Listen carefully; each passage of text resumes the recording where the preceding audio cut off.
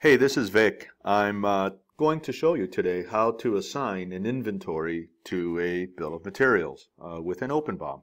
Uh, let's get started. The first uh, thing I'd like for you to notice is that uh, there's this little uh, chevron, if you will, that when you click gives you the exposure to some of the other tools we have here. So uh, again, let me just uh, click and unclick. And this is how now you get to the tools that refer to Item Master or Parts Catalog.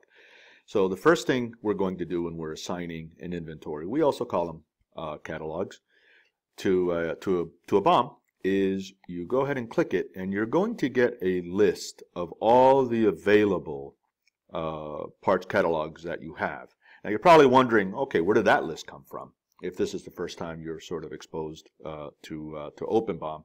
So uh, let me just uh, show you real quickly. What I'm going to do is I'm going to go back to the dashboard. Once I'm in the dashboard, I have this section here called, called Parts Catalog in the dashboard.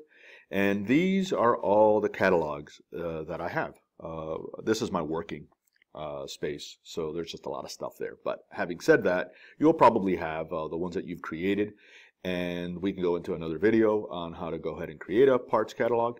But having said that, here's one that's already been created.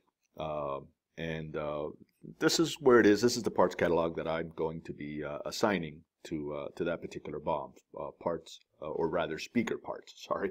Anyway, so what I'm going to do now is let me go back to the to the bill of materials dashboard. I'm going to go back to the bill of material that I had, and now again I'm just going to be clicking that on and setting the the catalog. So this is basically populating with all my parts catalog, I'm going to go ahead and choose the speaker parts.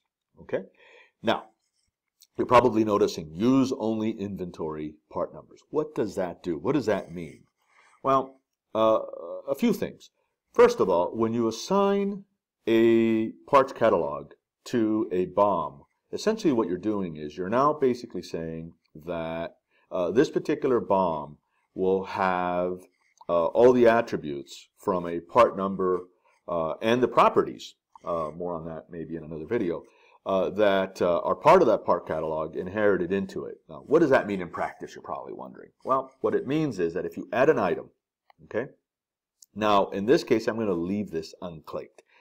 And if you just click the speaker parts, what's going to happen is, you see this little faded drop down uh, widget here. So if you click it, you're going to see all the parts numbers of the speaker parts of that catalog. So uh, you're, you're, automatically going to get to choose from the uh, assign parts catalog. Now, however, let me turn this off. This is just a spell checker here. Oops. Um, let me get out of that. Sorry. I just want to turn this off because it's kind of annoying.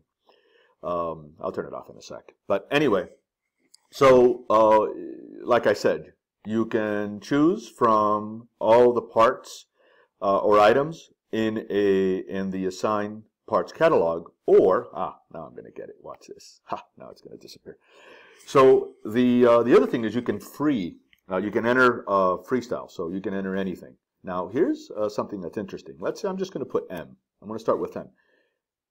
What um, uh, OpenBOM does is it looks at every, it, we index pretty much everything that's entered. So if I, for example, add P, uh, you're going to get everything, every part number that you've ever worked with in any other BOM also available to you. It's just a, a way of simplifying and making it easier for you for you to choose something that you may have already used because we index everything uh, that's, uh, uh that's created from a part number perspective uh, with an OpenBOM.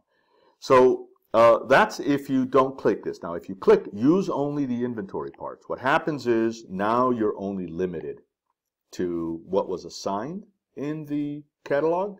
And if you now try to enter something, right, and you try to enter it, you watch, ha, mm, can't do that, right? So that red thing means, hey, you're assigning something to this, or you're creating a part number rather, uh, or, or, or giving this BOM a part number uh, that goes against um, the rule that you can only use inventory part numbers in this BOM. Okay, so that's that's all it means.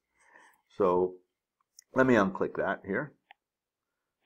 Okay, so now I've unclicked it and I'm going to go ahead and I'm just going to randomly go ahead and choose um, this particular chip here. Okay, so once I've done that, and let me add another item.